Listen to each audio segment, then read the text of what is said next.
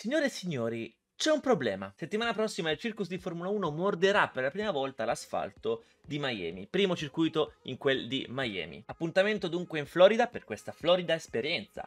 Tuttavia c'è un problema davvero di fondo, almeno per quanto riguarda noi appassionati. Su Assetto Corsa, il simulatore che ci dà la possibilità di goderci un'esperienza fantastica con proprio fisica di guida, ma anche grazie a tantissimi creator che eh, creano contenuti quali skin, quindi eh, livree bellissime, quali auto e quali piste, hanno provato a ricreare anche il circuito di Miami, che lo scorso anno, praticamente proprio un anno fa, è stato presentato tramite un video su Assetto Corsa con una Formula 1 Showcar 2022 proprio sul canale di Formula 1. Bene, se vi dicessi che quel video effettivamente propone una pista che dovrebbe essere ufficiale, che mi fa cadere il zebedei perché un creatore, una persona normalissima che ha deciso di creare la pista di Miami, ha fatto un lavoro migliore, voi come cavolo la prendereste? E purtroppo è proprio così. Ciao a tutti Damos, benvenuti benvenuti in questo nuovo appuntamento sul canale, benvenuti sul circuito di Miami. Andremo ad utilizzare una mod di un ragazzo che eh, ha fatto un lavoro incredibile e poi andremo a fare la comparazione tra il mio onboard lap e quello che ha mostrato Formula 1.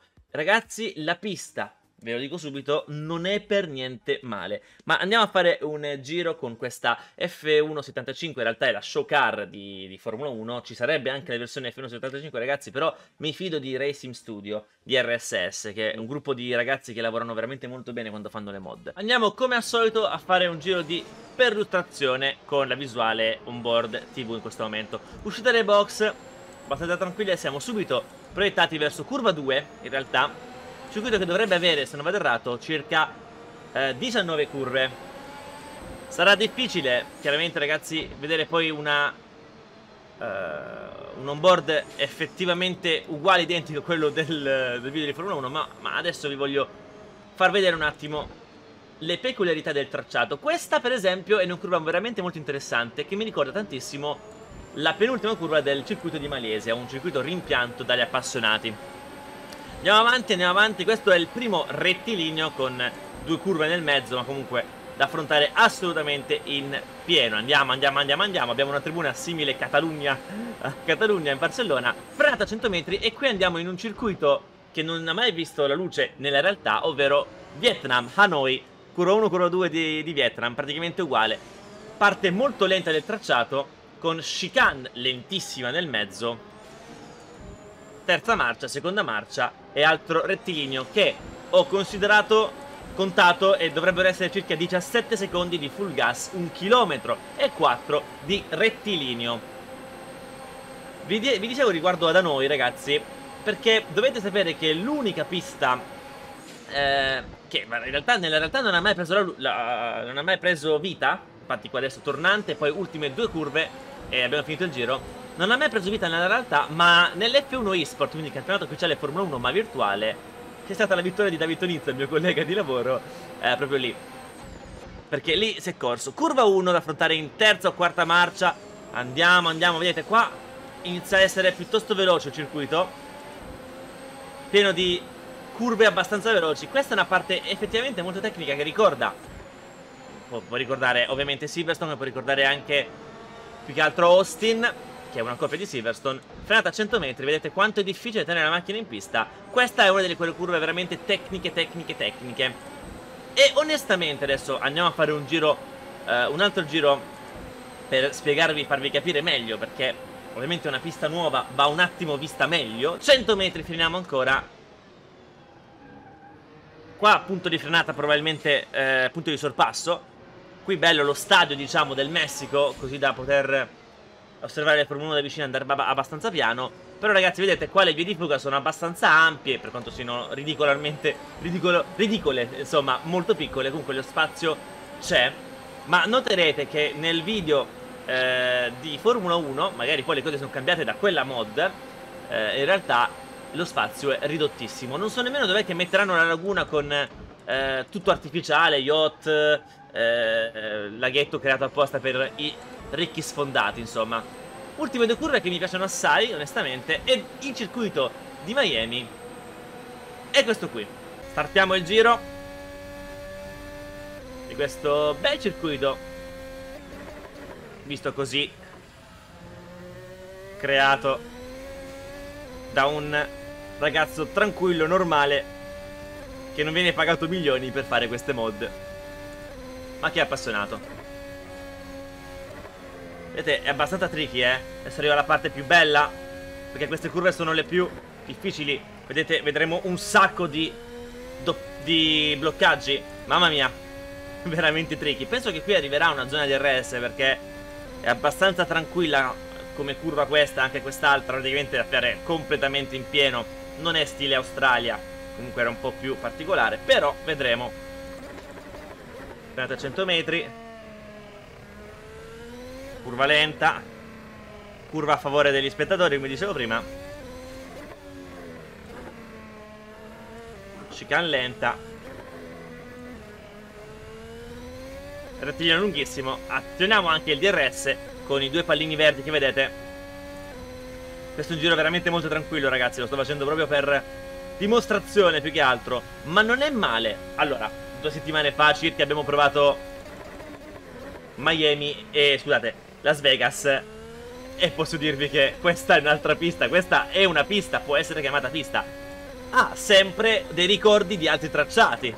Degli spunti da altri tracciati. Le curve sono sempre le stesse, chiaramente col passare del tempo. Come eh, verrebbe anche da fare una similitudine, come nei film adesso, chiaramente, perché fanno continui remake? Perché non è che ci sono sempre sempre tante idee e le curve in un certo senso a un certo punto finiscono. Non è che si può fare sempre qualcosa di diverso. Vedete ancora stiamo migliorando ma credo che l'Es poi ci abbandonerà, l'Es ci sta abbandonando, eccolo la barra verde è terminata, infatti adesso il Delta va a scendere abbastanza a sproposito naturalmente. Proviamo a fare la staccata della vita, arriviamo lunghi però. Questa occasione di sorpasso, sì, sicuramente è una zona dove si possono fare sorpassi, chiaramente non questa.